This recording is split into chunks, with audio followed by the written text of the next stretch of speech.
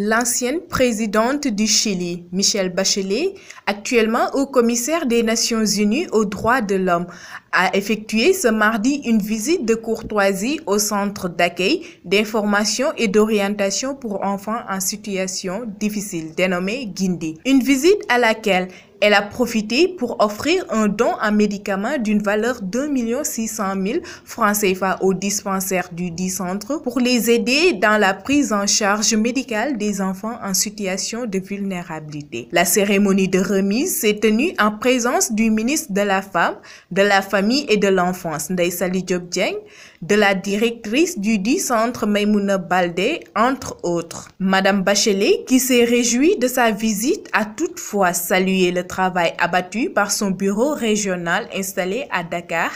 Ainsi, elle a réitéré son engagement à la promotion et à la protection de l'enfance car, dit-elle, la place de l'enfant est à l'école et non dans la rue. Rappelant ainsi la mise en place de leur convention dont l'objectif est de protéger les droits des enfants et qui bientôt célébrera ses 30 ans d'existence, le haut-commissaire des Nations Unies aux droits de l'homme estime que des projets beaucoup plus fructifiants seront développés au Sénégal. Ce pour continuer à accompagner les enfants. Madame Bachelet a néanmoins exprimé sa volonté durant sa fonction de haut-commissaire des Nations Unies d'assurer la protection des droits et devoirs des enfants et aussi celle de l'homme de manière générale. À cette occasion, le ministre de la Femme, de la Famille et de l'Enfance, Naïsadi Diop a signifié à son hôte l'engagement du Sénégal à la promotion des droits des enfants.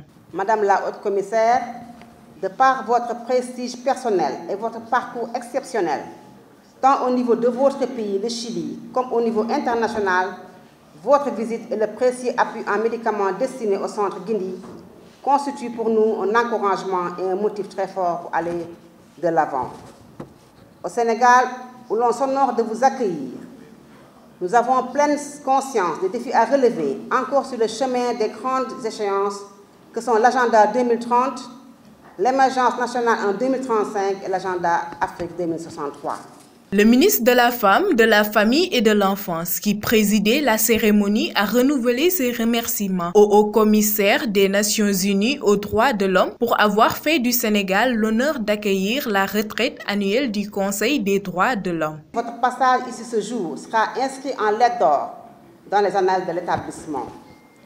De même, les enfants ici présents et l'équipe pédagogique qui les assiste garderont sûrement le souvenir d'avoir rencontré la militante infatigable des droits humains et la porteuse de grands idéaux de paix, de justice, de solidarité et d'équité entre les êtres humains, entre les hommes et les femmes et entre les nations. J'ai très bon espoir que vous ayez passé un excellent séjour en pays de la Teranga, le Sénégal. Excellente suite pour le reste de votre agenda. Nous espérons vivement vous recevoir encore prochainement partager avec vous nos prochaines avancées et nos défis dans la perspective de l'agenda démocratique et républicain que le Sénégal s'est choisi sous la conduite de son Excellence M. Macky Sall, président de la République. Évidemment, je ne saurais terminer sans saluer encore une fois le professionnalisme et la disponibilité constante des membres de l'équipe du bureau régional du Haut-Commissariat à Dakar sous la direction de M. André Horry.